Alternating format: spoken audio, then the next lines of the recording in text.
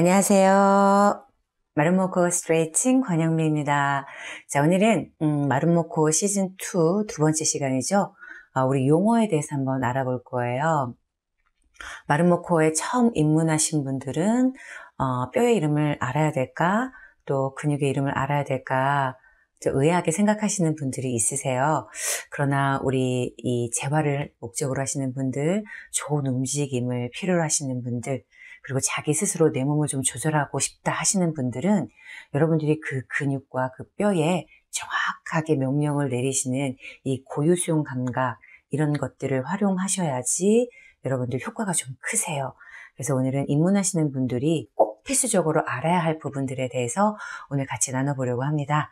자, 우선 자, 뼈의 구성을 보면 자, 이렇게 요건 앞부분이고 이건 뒷부분이에요. 머리가 있고 몸통이 있고 거기에 팔이 달려 있어요. 그리고 골반이 있어요. 이렇게 몸통과 골반을 이어주는 건 척추고요. 그 골반엔 허벅지 뼈가 끼워져 있고 밑으로는 다리 두 개가 있어요. 자, 이런 구성 정도는 이제 여러분들이 아시겠죠? 자, 이렇게 뼈의 구성을 한번 살펴보면, 자, 앞쪽에는 이렇게 쇄골이 있어요. 우리 쇄골 미인이란 얘기도 하죠.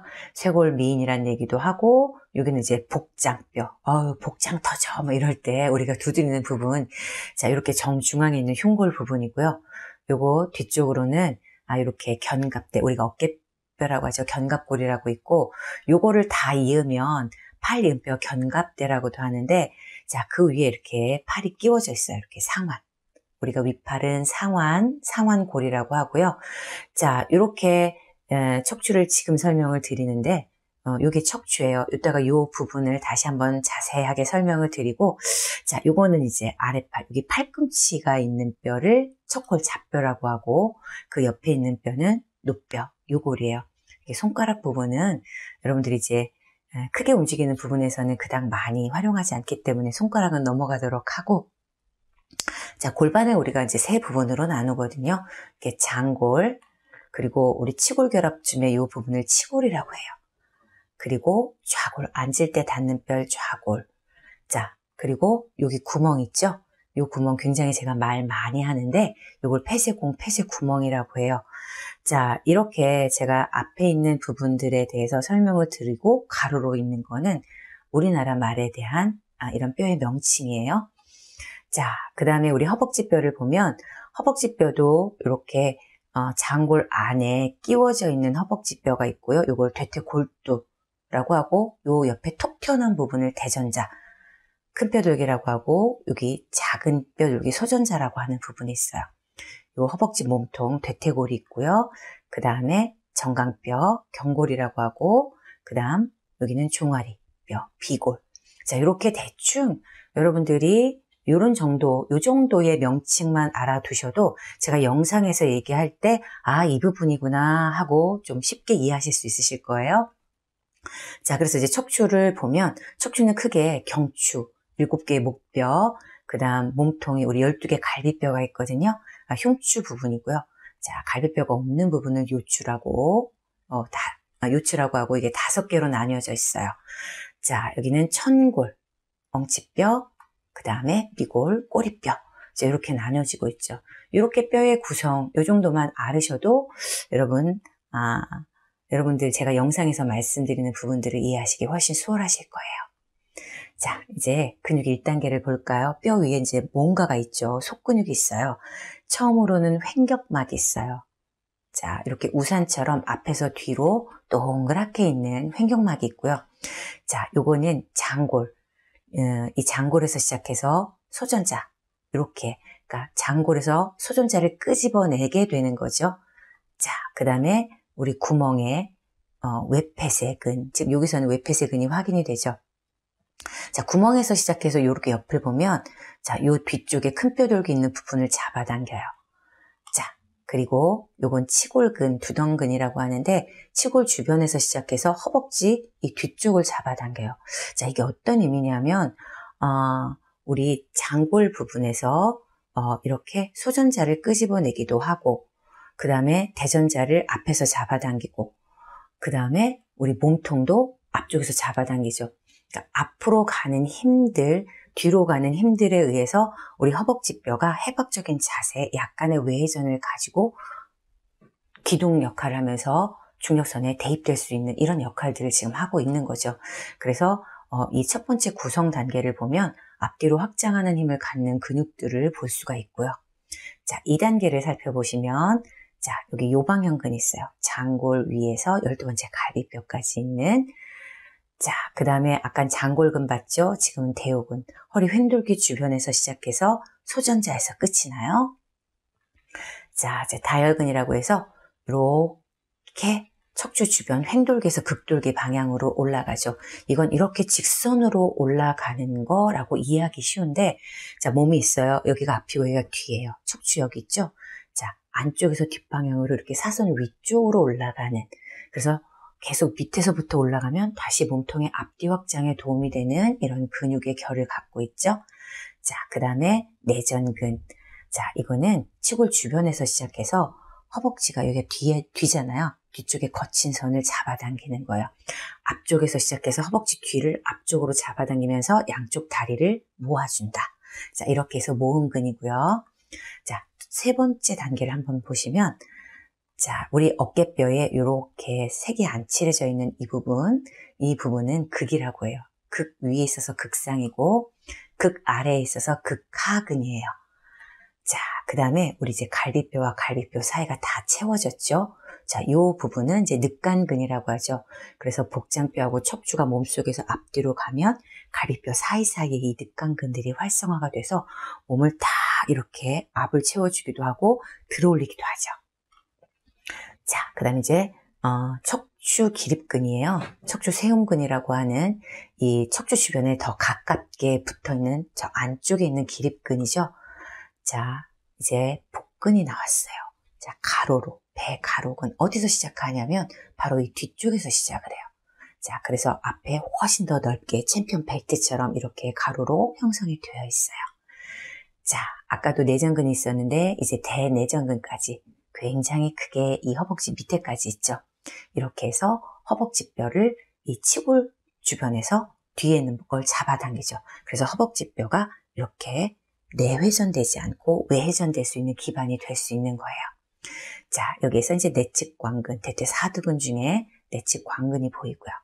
자, 근육의 구성 4단계로 가면 자, 이제는 아까 기립근보다 훨씬 더 두텁게 표면 기립근들이 채워진 걸 볼 수 있으세요?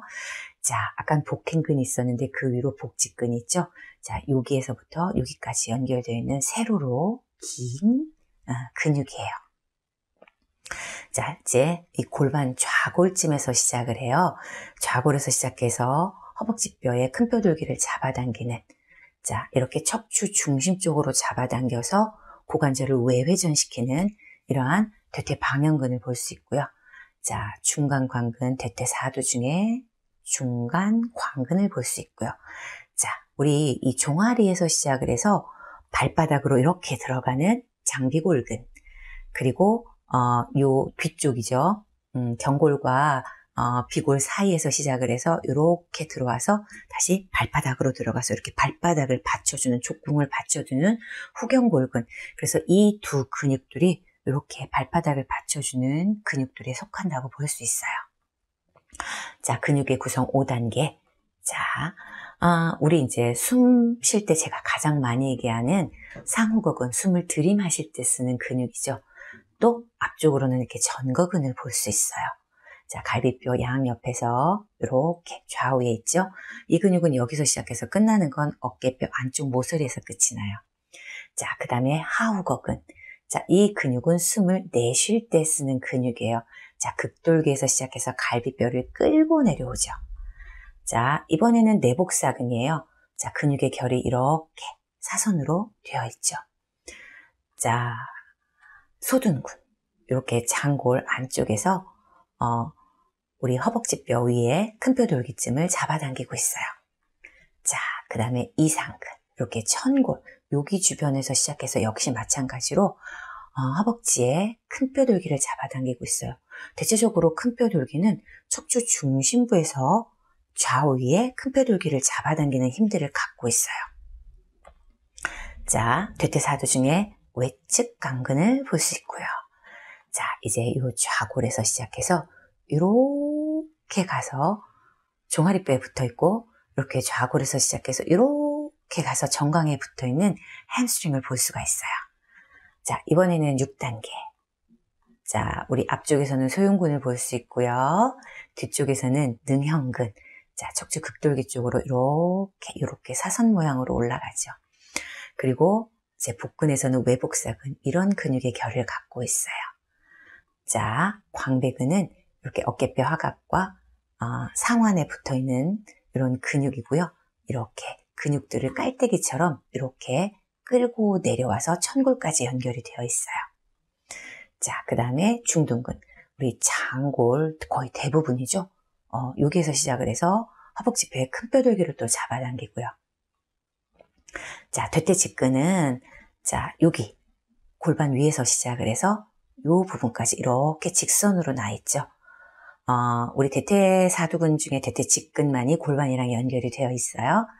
자, 그 다음에 이제 가자미근. 이렇게 아킬레스건까지 연결이 되어 있고요. 자, 마지막으로 근육이 7단계예요. 자, 이렇게 삼각근, 그 다음에 우리 승모근이라고 해서 이렇게 이만큼 분포가 돼 있죠. 자, 이것도 상승모, 중승모, 하승모로 나뉘는 부분이라고 될 수 있고요. 앞쪽으로는 대흉근이 있고요. 자, 우리 이제 엉덩이 근육. 자, 천골과 이런 주변에서 시작을 해서 이렇게 또 어, 허벅지뼈를 잡아당기는 근육이고요. 자, 봉공근도 역시 이렇게 시작을 해서 정강이까지 연결이 되어 있어요.